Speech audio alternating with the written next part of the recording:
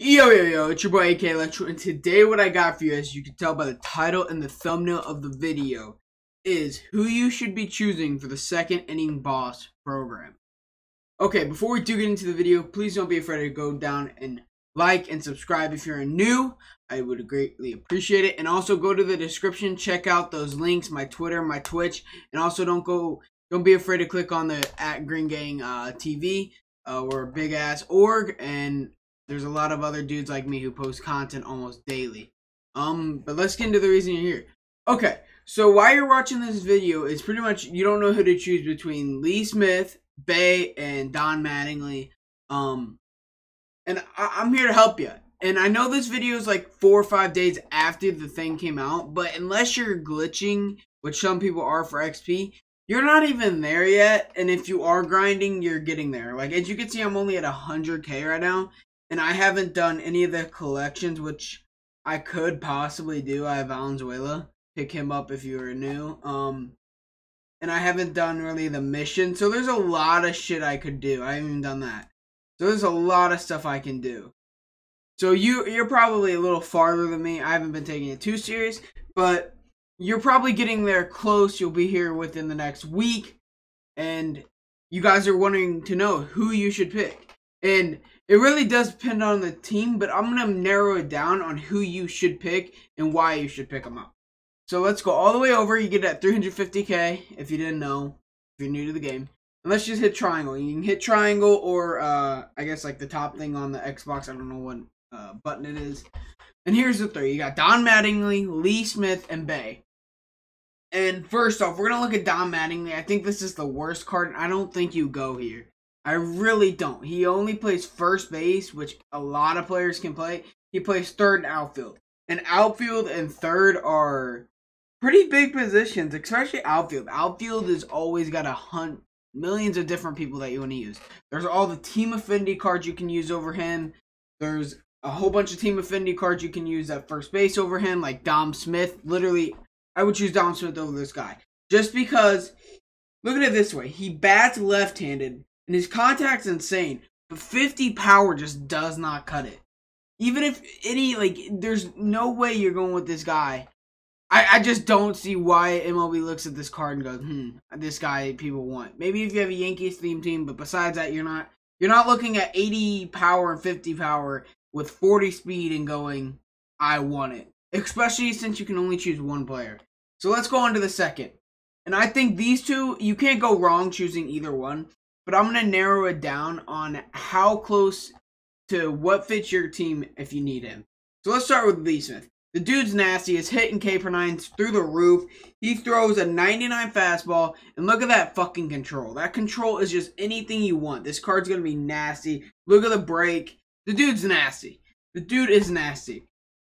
He throws the slider and the cutter, the two pitches that you absolutely want on any pitcher, and then he has a forkball, which is nasty. His control is 90, like in velocity 97. This card is exactly what you want. Um, but here's why I don't think if here's when uh, we're gonna start talking about why you need this card and why you don't.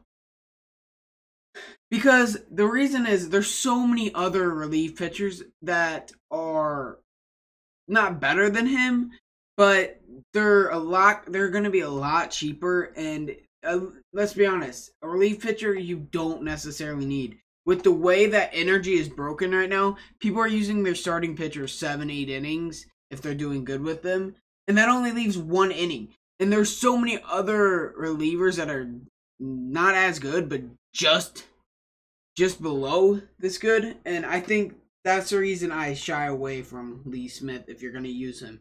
But I'm gonna be choosing Lee Smith because here's why Let's look at Jason Bay.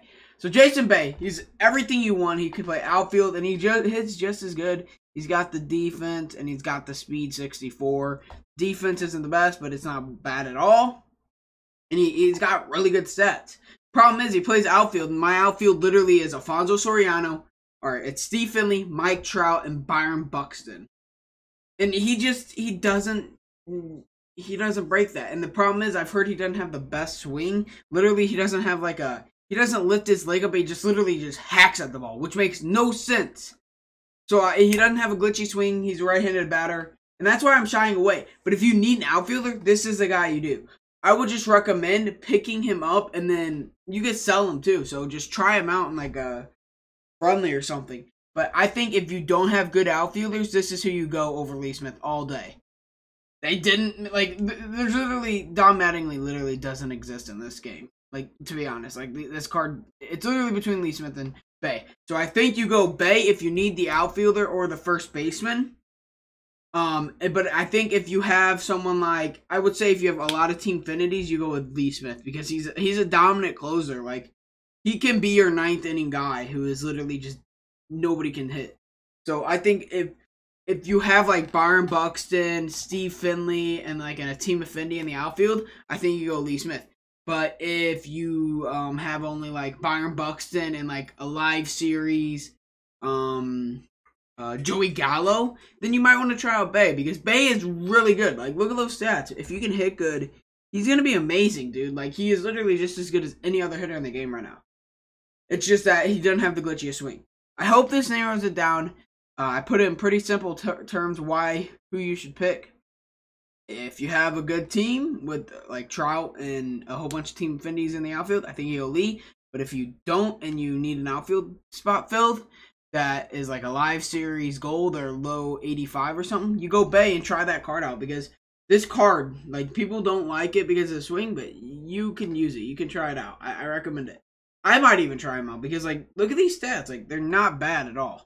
I think you should try them out if you if you need an outfield spot filled. Uh, but that's it for the video. I'd appreciate if you guys would drop a like and subscribe if you're new and check out those links below. And we'll see you in the next video. Peace out.